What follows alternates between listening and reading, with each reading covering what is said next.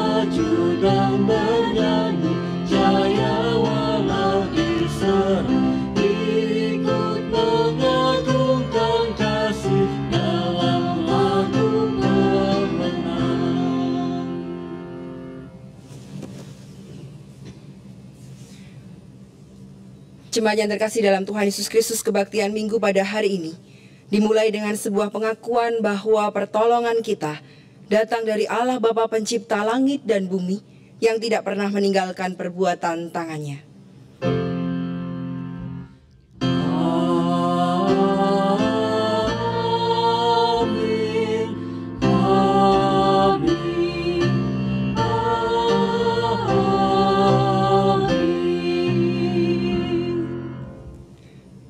Kasih karunia dan damai sejahtera dari Allah Bapa kita dan dari Tuhan Yesus Kristus menyertai saudara sekalian. Dan beserta saudara juga. Umat yang dikasih Tuhan dalam kehidupan ini acap kali kualitas relasi di antara kita menjadi bagian yang luput dari perhatian kita. Padahal, jika kualitas relasi mendapatkan perhatian secara utuh, maka itu semua akan menjadi saksi yang nyata bagi dunia. Dalam terang firman Tuhan, hari ini kita akan bersama menggumuli relasi-relasi yang kita telah jalani, mengevaluasi dan memperbaiki bersama agar semakin menjadi berkat bagi setiap elemen dalam kehidupan kita.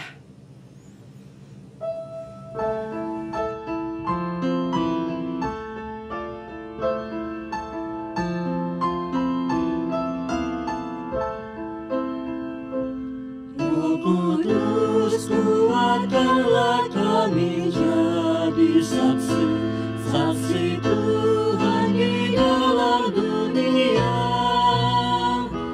Roh Kudus kobarkanlah api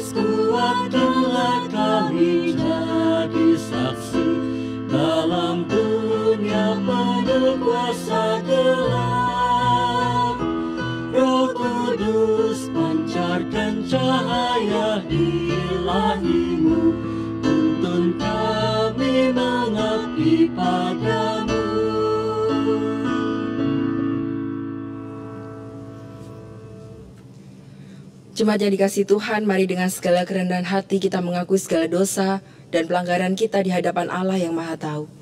Kita berdoa.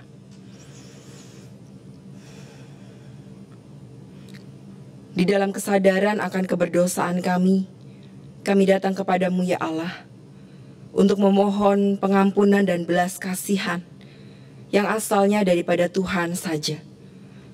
Ampunilah kami ya Allah, ketika kami mengabaikan relasi di antara kami. Relasi-relasi yang kami jalani seolah menjadi bagian yang tidak kami perhitungkan. Padahal, sejujurnya, kami tidak pernah dapat hidup seorang diri. Dan kami selalu harus hidup dalam saling bertolong-tolongan. Namun bagian ini sering kali menjadi bagian yang tidak pernah kami perhatikan atau bahkan kami enggan untuk mengevaluasinya. Kami menjalani hidup begitu saja dan tanpa peduli dengan relasi di sekitar kami. Tuhan ampunilah kami dan kiranya belas kasih Tuhan ada bersama dengan kami, membalut hati kami hingga pada akhirnya kami menjadi ciptaan yang baru yang Tuhan terus perbaharui. Ini doa kami ya Allah yang kami naikkan di dalam nama Tuhan Yesus Kristus, Allah yang mengasihi kami dan yang senantiasa peduli terhadap hidup kami. Demi Kristus kami berdoa dan mengucap syukur. Amin.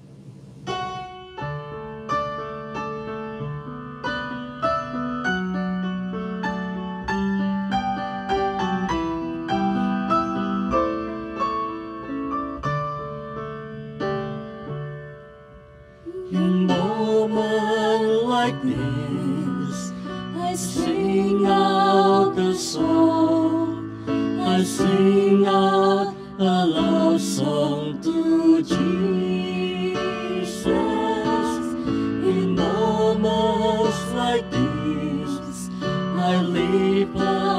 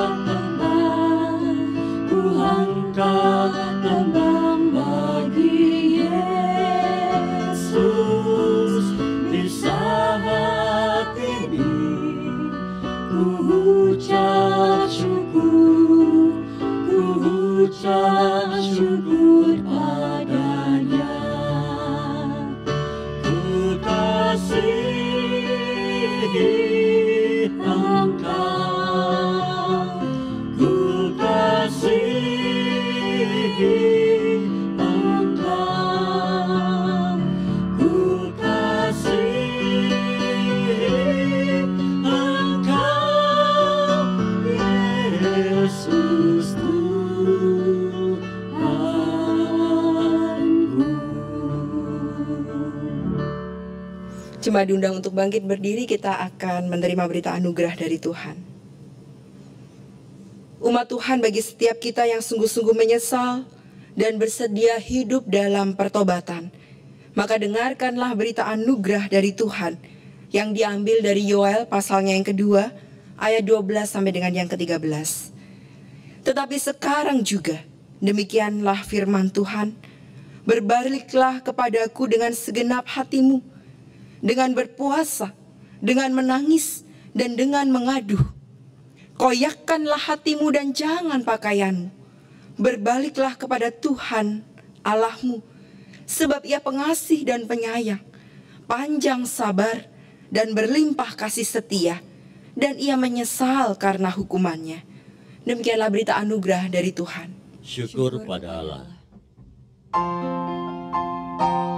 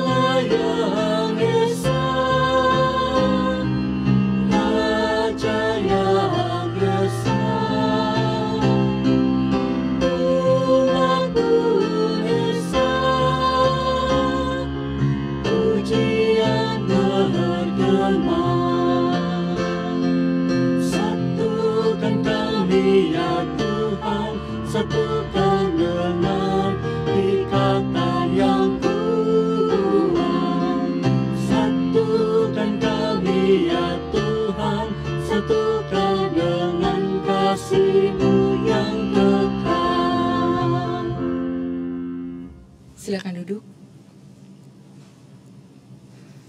Umat yang dikasih Tuhan, saya mengajak kita untuk menyatukan hati memohon pertolongan Roh Kudus agar setiap kali firman Tuhan itu dikumandangkan di dalam hati kita. Pada waktu itu jugalah kita diberikan kemampuan untuk mengambil komitmen yang baru di hadapan Tuhan. Mari kita bersatu di dalam doa.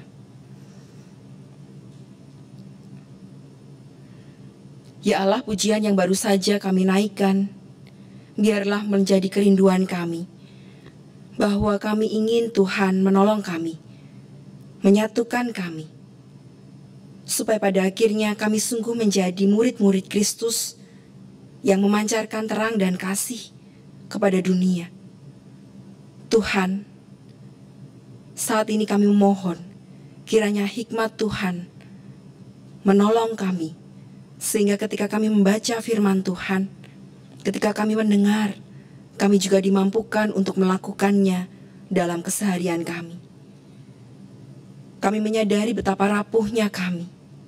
Dan oleh karena itu kami membutuhkan kuasa Kristus, tangan kasih setia Tuhan yang menggandeng kami. Sehingga ketika berhadapan dengan kebenaran firman-Mu, kami juga dimampukan untuk berkomitmen melakukannya. Bersamalah dengan kami ya Allah dan berbicaralah sebab kami sungguh ingin mendengar dan sungguh ingin Tuhan ubahkan sesuai dengan rencana dan rancangan Tuhan dalam hidup kami. Demi Kristus kami berdoa. Amin. Jemaat Tuhan saya mengundang kita untuk bangkit berdiri. Kita akan membaca firman Tuhan dari Yohanes pasal 17 ayatnya yang ke-6 sampai dengan yang ke-19.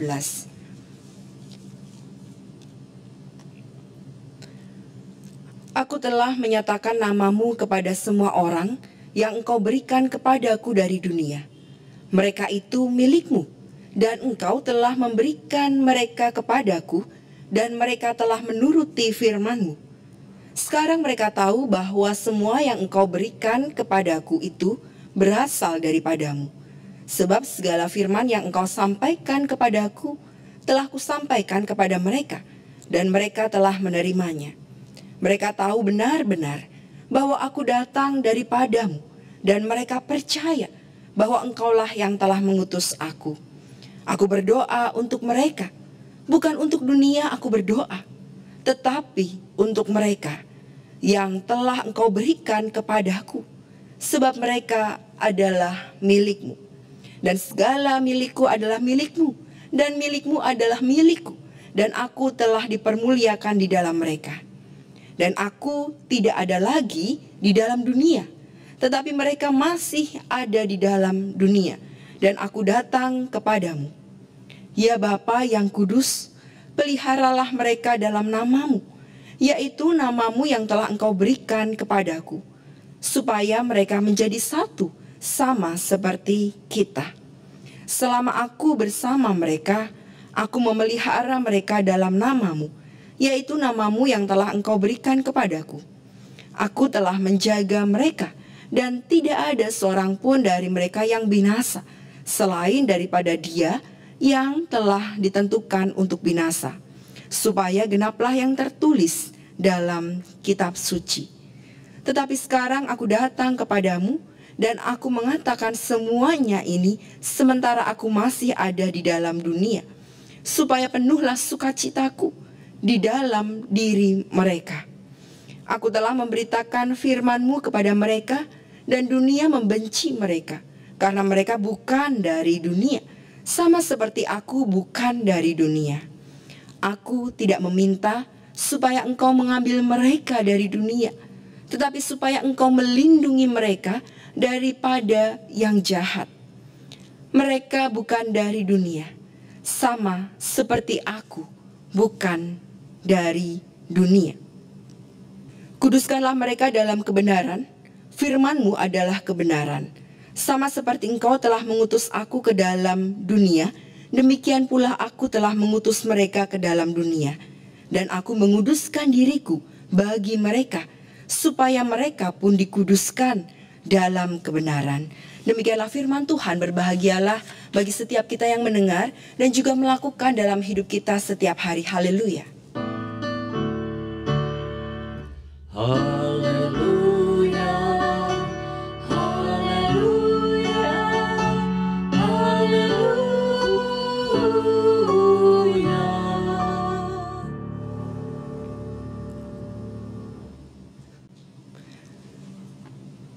Ibu yang terkasih dalam Tuhan Yesus Kristus, saya mengajukan satu kata untuk mengawali permenungan kita pada hari ini. Loneliness. Atau kita juga biasa menyebut dengan kesepian. Ada begitu banyak orang yang pada akhir ini apalagi di masa pandemi merasa menjadi lebih kesepian. Karena ternyata kita juga harus menyadari bahwa perjumpaan-perjumpaan secara virtual tidak pernah menggantikan dan tidak pernah bisa menggantikan perjumpaan-perjumpaan secara tatap muka, ya. Jadi makin ke sini makin banyak orang yang merasakan dirinya kesepian. Nah, saya mengajak Bapak Ibu ambil handphonenya, Coba cek lagi berapa banyak media sosial yang kita punya. Kalau dulu gereja biasanya alergi gitu ya. Kalau lihat orang ada yang lagi buka-buka handphone, lalu kemudian kita udah langsung gimana sih ibadah kok buka-buka handphone gitu ya. Nah sekarang pandemi ternyata mengubah persepsi itu. Mau tidak mau kita akan berhadapan dengan smartphone kita. Mau tidak mau supaya kita tetap bisa beribadah, kita harus menggunakan kecanggihan teknologi. Bapak Ibu buat saya secara pribadi saya tidak pernah alergi dengan teknologi. Saya tidak pernah alergi dengan smartphone. Tapi catatannya adalah mari kita gunakan dengan kebijaksanaan. Dengan hikmat supaya apa yang ada pada kita bukan jadi sesuatu yang sia-sia. Nah, coba lihat berapa banyak media sosial yang kita punya.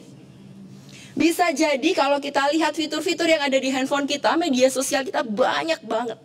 Sebut saja, ada yang punya Twitter, saya punya.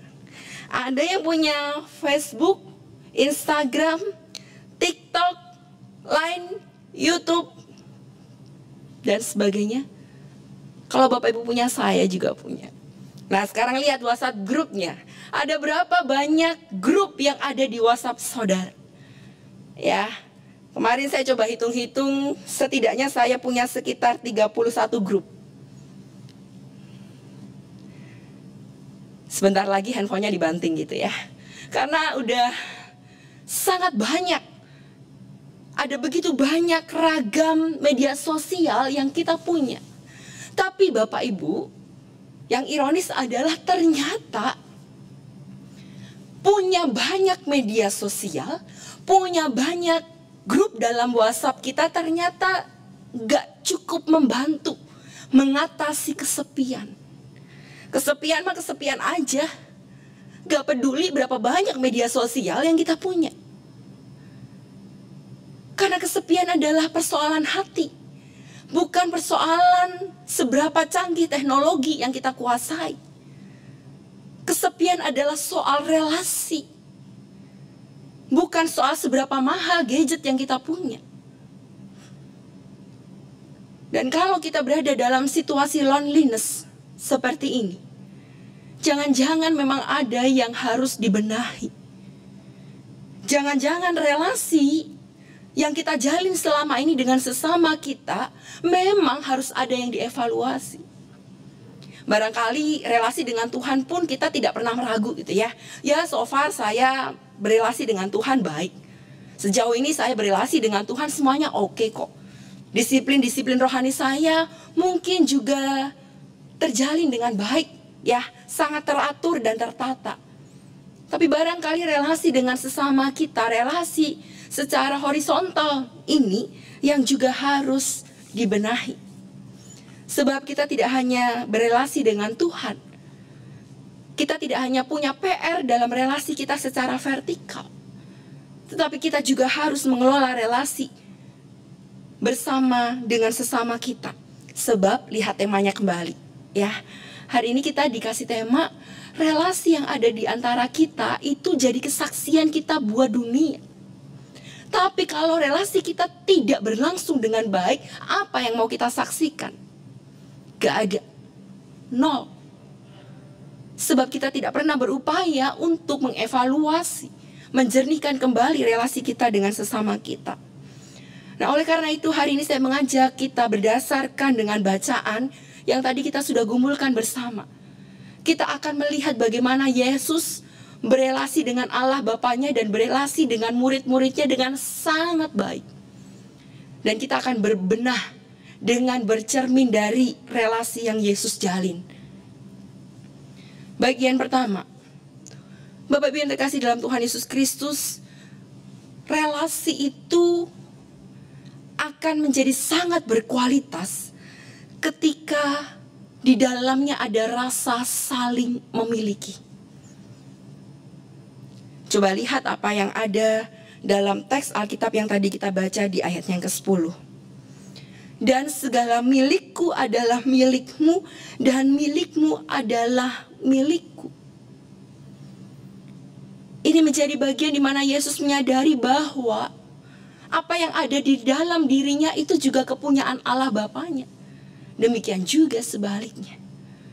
Murid-murid yang sekarang sedang diajari itu juga murid-murid Allah Bapaknya. Jadi relasi antara Yesus Allah Bapa dan juga murid-muridnya selalu punya komponen rasa saling memiliki. Nah, adakah rasa saling memiliki ini juga kita terapkan dalam hidup kita sehari-hari? Sudahkah sense of belonging ini ada di dalam diri kita? Atau kita merasa ya bodoh amat, teman saya lagi kesusahan, lagi dalam pergumulan berat, ya bodoh amat terserah. Teman saya lagi ulang tahun, ya udahlah happy happynya dia doang, bodoh amat terserah. Kita merasa tidak pernah memiliki. Kita merasa bahwa mereka tidak ada dalam bagian di hati kita. Dan mungkin juga sebaliknya, kita pun tidak ada dalam hatinya mereka. Nah hari ini kita diminta untuk kembali menjernihkan hati. Adakah rasa memiliki itu timbul di dalam hati kita? Rasa saling itu menjadi hadir di dalam hidup kita. Dan bagian ini yang akan mengukuhkan relasi kita supaya relasi kita menjadi relasi yang berkualitas. Bukan hanya sekedar relasi-relasi formal yang kalau nggak ketemu ya udah nggak apa- nggak apa-apa juga. Termasuk bagaimana hubungan kita dengan gereja Tuhan. GKI Gunung Sahari. Betul bahwa setahun lebih kita tidak bergereja di ruang ibadah. Dan apakah rasa memiliki itu masih ada? Masihkah kita peduli dengan GKI Gunung Sahari? Atau jangan-jangan selama ini relasi kita dengan gereja Tuhan menjadi sebuah relasi yang hambar. Tidak ada rasa memiliki. Jadi kalau gerejanya juga lagi empot-empotan ya bodoh amat begitu ya. Semoga ini tidak terjadi. Semoga masih saja ada rasa memiliki. Supaya pada akhirnya kita punya relasi yang berkualitas.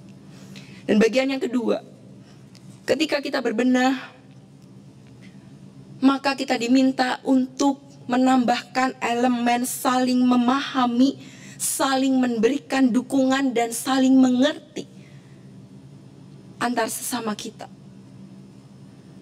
Lihat apa yang dituliskan dalam ayatnya yang ke-11. Ini adalah bagian dari doa Yesus untuk murid-muridnya. Dan mari lihat salah satu penggalan doa Yesus.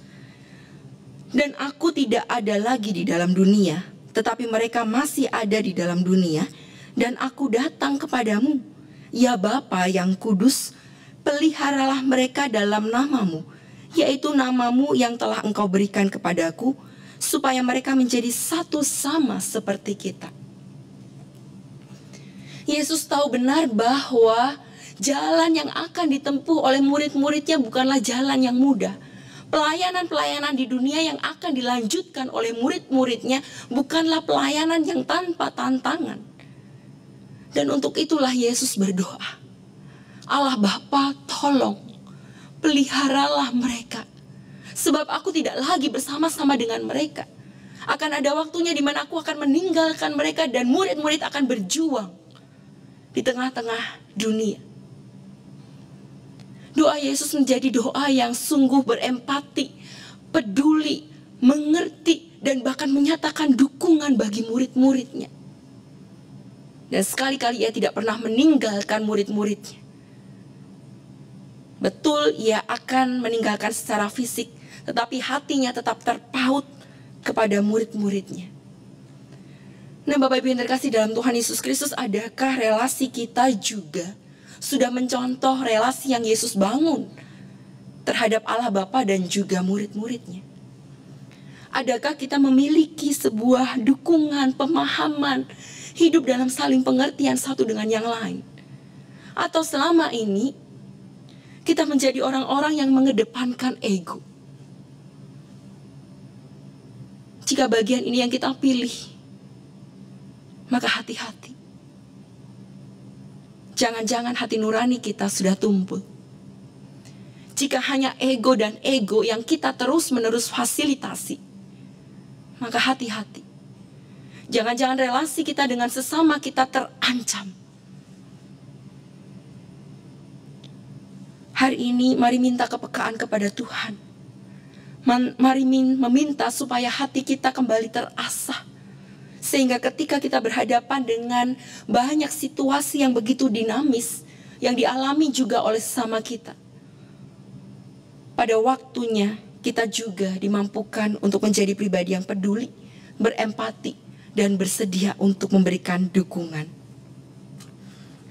Bagian yang ketiga dari cara berbenah kita, saya mengajak kita untuk mendasarkan relasi itu dalam sebuah dasar yang tangguh, sebuah dasar yang gak main-main nih.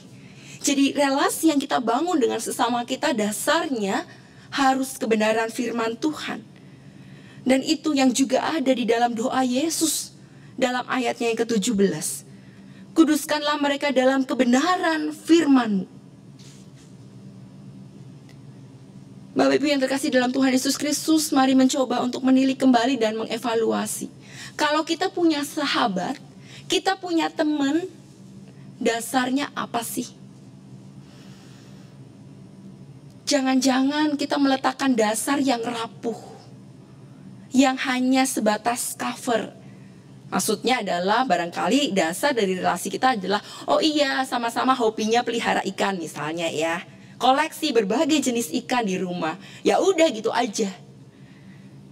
Atau misalnya dasarnya adalah oh iya kita sama-sama punya eh, kebiasaan yang sama.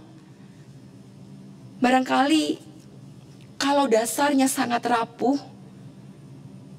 kita harus lebih waspada. Ketika dasar kita dalam berelasi rapuh, maka relasi kita tidak akan pernah bisa melewati tantangan dan rintangan yang akan ada di depan kita. Tapi sebaliknya, ketika dasar kita adalah dasar kebenaran firman Tuhan, sebuah dasar yang kokoh, kita yakin kita akan melalui segala situasi, tantangan, ancaman apa pun yang akan ada di hadapan kita dengan baik. Sebab kita tahu kita meletakkan pondasi yang benar dalam hidup kita. Oleh karena itu Bapak Ibu yang terkasih dalam Tuhan Yesus Kristus, boleh jadi relasi kita bermula dari hobi, bermula dari kebiasaan yang sama, bermula dari mungkin selera makan yang sama, boleh jadi. Tapi mari tajamkan lagi. Kenakan lagi dasar yang kokoh, tambahkan dasar yang kokoh. Sehingga pada akhirnya kita memperoleh sebuah relasi yang berkualitas. Hari ini kita diingatkan bahwa kesaksian kita kepada dunia bukan cuma sekedar kata. Bukan cuma sekedar teori atau wawasan atau keyakinan yang ada dan yang terungkap dalam kata-kata kita. Tetapi relasi yang berkualitas itulah yang akan kita saksikan kepada dunia. Dan kiranya Kristus memampukan kita untuk kembali berbenah. Supaya pada akhirnya relasi yang kita jalin baik terhadap Tuhan maupun sesama menjadi relasi yang sungguh menjadikan hormat dan kemuliaan bagi nama Tuhan. Kiranya Kristus memampukan kita. Amin.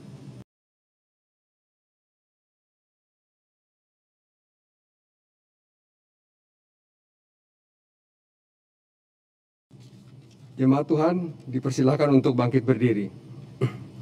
Bersama dengan gereja di segala abad dan tempat, marilah kita mengikrarkan pengakuan iman percaya kita, seturut dengan pengakuan iman rasuli. Aku percaya kepada Allah, Bapa yang Maha Kuasa, Khalik langit dan bumi, dan kepada Yesus Kristus, anaknya yang tunggal Tuhan kita, yang dikandung daripada roh kudus, lahir dari anak darah Maria, yang menderita sengsara di bawah pemerintahan Pontius Pilatus, disalibkan, mati dan dikuburkan, turun ke dalam kerajaan maut. Pada hari yang ketiga, bangkit pula dari antara orang mati, naik ke sorga, duduk di sebelah kanan Allah, Bapa yang Maha Kuasa.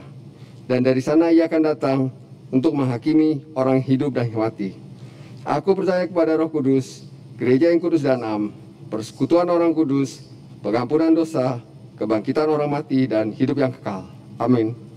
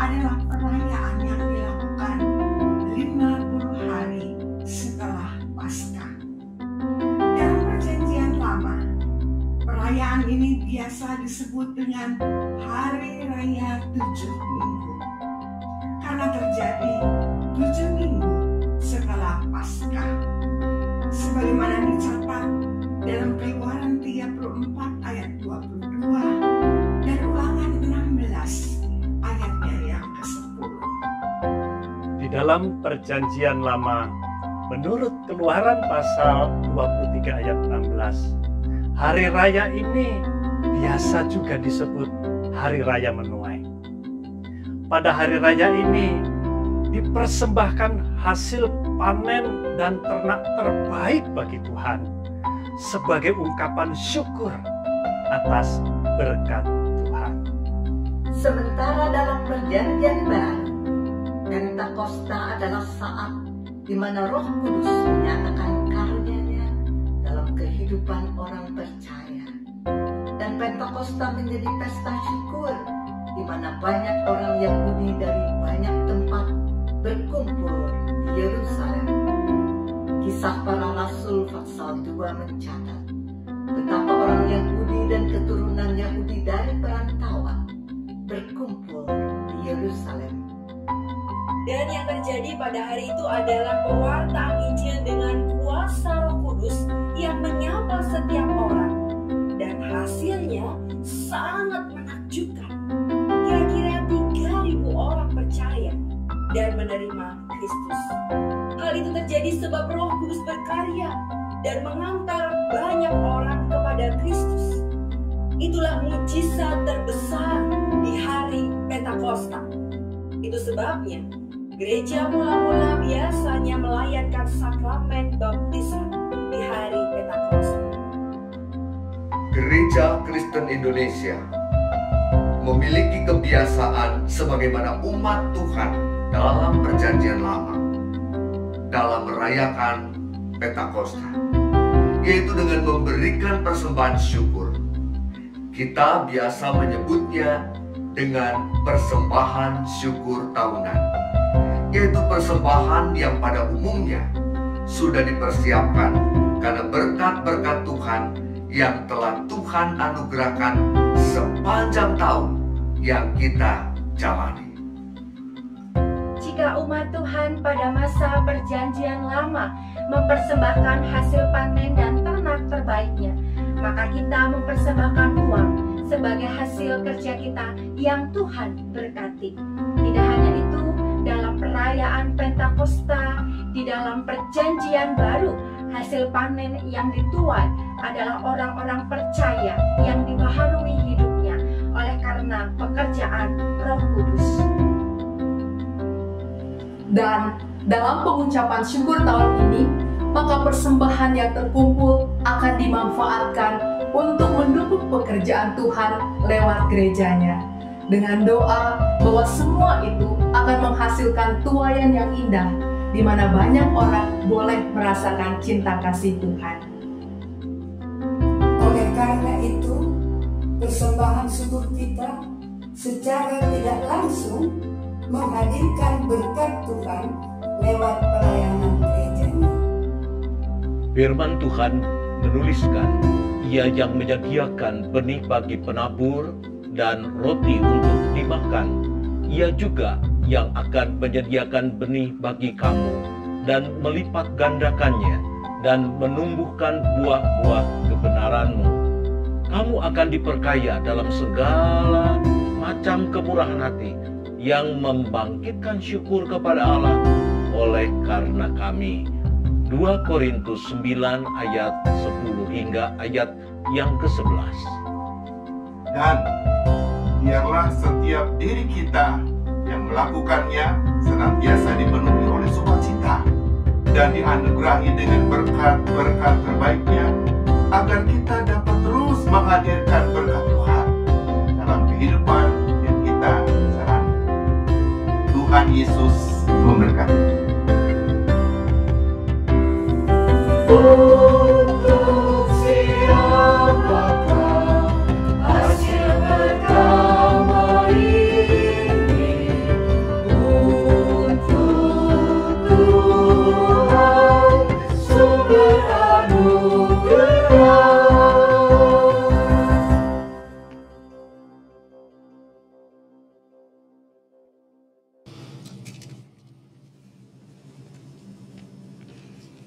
kita bersatu di dalam doa syafaat. Segala syukur hanya bagi Tuhan yang memelihara ciptaanmu dengan sempurna. Dan saat ini kami hendak menyatukan hati kami berdoa bagi bangsa dan negara yang kami cintai. Di atas segala sesuatu yang kami sedang upayakan, secara khusus dalam menangani pandemi ini. Kami mohon berkat-Mu ya Allah atas para pemimpin kami. Kami mohon berkat-Mu atas setiap elemen, setiap pihak, setiap warga negara. Sehingga kami dapat bahu-membahu. Hingga pada akhirnya, tepat pada waktu yang Tuhan tentukan bagi kami. Maka biarlah pandemi ini berlalu. Tuhan, saat ini kami juga hendak berdoa bagi gereja Tuhan GKI Gunung Sahari. Kami bersyukur sampai di titik ini Tuhan masih pelihara kami. Kami bersyukur ya Allah, masih ada begitu banyak orang-orang yang menyediakan dirinya sebagai pelayan-pelayan Tuhan. Kami bersyukur ya Allah, karena kasih setia Tuhan yang tak pernah berkesudahan bagi gerejamu. Saat ini kami juga memohon kiranya segala yang kami pergumulkan, apa yang kami butuhkan, Tuhan memberikan jawab dan Tuhan memberikan kecukupan pada waktunya. Ajari kami untuk terus berharap, sebab harapan kepada Tuhan tidak pernah menjadi sia-sia. Tuhan kami juga hendak berdoa untuk panitia Pentakosta yang mempersiapkan segala sesuatunya. Tuhan tolong mereka, berikanlah kepada mereka kegigihan, ketekunan, iman dan sukacita sehingga pelayanan mereka menjadi pelayanan yang sungguh berkenan di hadapan Tuhan. Saat ini kami juga hendak berdoa untuk malam doa jelang Pentakosta yang masih berlangsung dan juga persiapan perayaan Pentakosta dan persembahan syukur tahunan yang akan kami haturkan kepadamu. Tuhan tolong siapkanlah hati kami dan pimpin kami supaya kami dapat benar-benar menyatakan kesungguhan kami kepada Tuhan. Kami juga berdoa bagi jemaat Tuhan yang berada dalam keadaan sakit. Mereka yang sekarang sedang kehilangan pengharapan. Tuhan tolonglah. Ajari mereka untuk terus mengarahkan hatinya kepada Tuhan. Untuk tetap beriman sekalipun di tengah-tengah situasi yang sulit. Ajari mereka untuk tetap berdoa. Sebab doa mengubah banyak hal. Ya Allah, inilah doa kami yang kami naikkan di dalam nama Tuhan Yesus Kristus yang sungguh setia menemani kami dan yang senantiasa memberikan perlindungannya kepada kami. Demi Kristus kami berdoa, mengucap syukur dan senantiasa berpengharapan. Amin.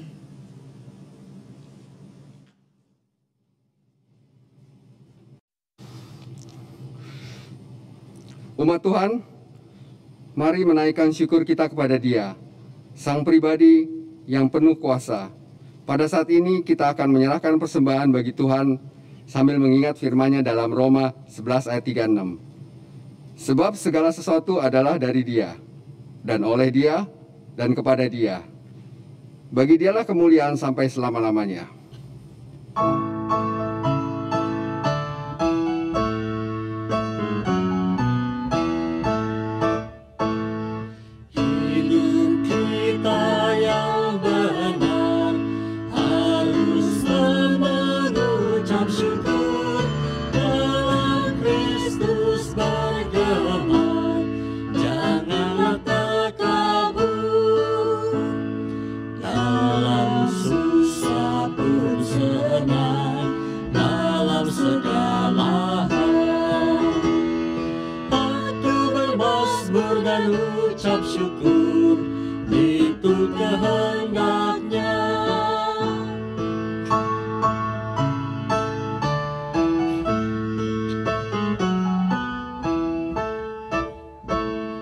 leave.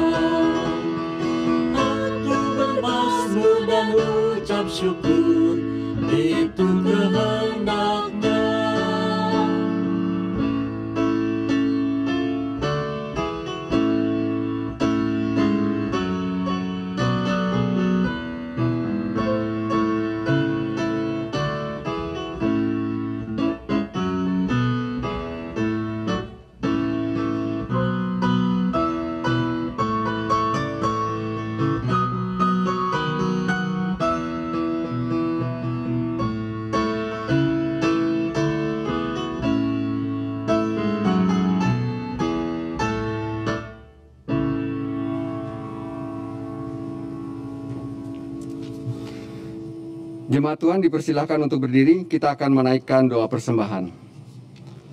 Ya Tuhan sumber segala berkat, kami bersyukur jika sampai pada hari ini kami masih dianugerahkan segala kebaikan dalam hidup kami. Persembahan yang sekarang kami haturkan juga adalah wujud dari kesaksian kami sebagai pribadi yang telah merasakan kasih-Mu. Ajari kami untuk memberi dengan ketulusan, dan biarlah persembahan kami ini menjadi sukacita dan berkat bagi banyak orang. Demi Tuhan Yesus Kristus kami berdoa. Amin.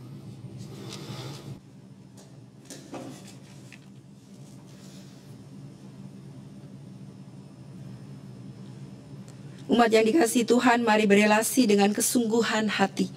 Sebab relasi yang kita jalani adalah cara kita bersaksi bagi dunia.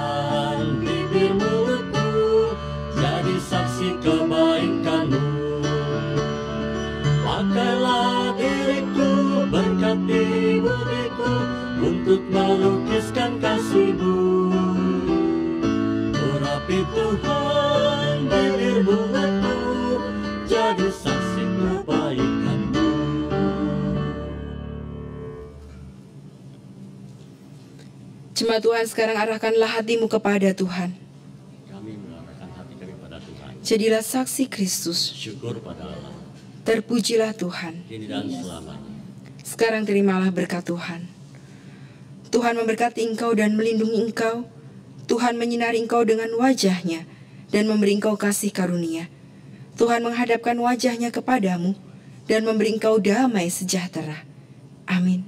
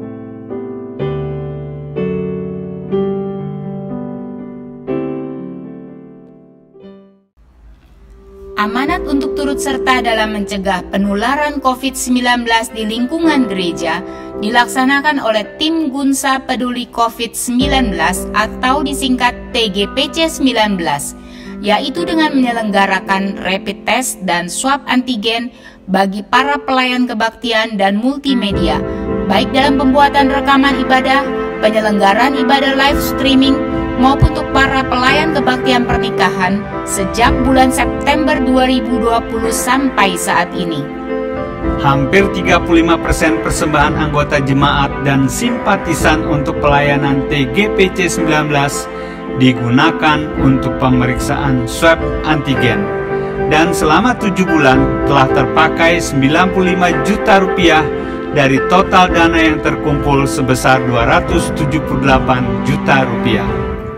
Pada saat ini, seluruh dana persembahan TGPC 19 telah tersalurkan melalui pelbagai bentuk pelayanan, antara lain pelayanan screening COVID-19, tolong menolong sesama anggota jemaat dan simpatisan, maupun pelayanan untuk masyarakat dan lembaga-lembaga di luar gereja, juga pelayanan mendukung program pemerintah dalam menyelenggarakan vaksinasi. Mari kita doakan agar apa yang diperlukan dapat dicukupkan seturut kemurahan Allah.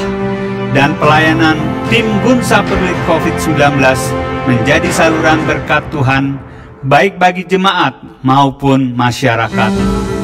Apabila saudara-saudara tergerak untuk menyalurkan berkat Tuhan melalui pelayanan tim Gunsa Peduli COVID-19, saudara dapat menyalurkannya ke rekening gereja BCA 391 300 2268 dengan keterangan TGPC 19. Tak berkesudahan kasih setia Tuhan, tak habis-habisnya rahmatnya, selalu baru tiap pagi, besar kesetiaanmu.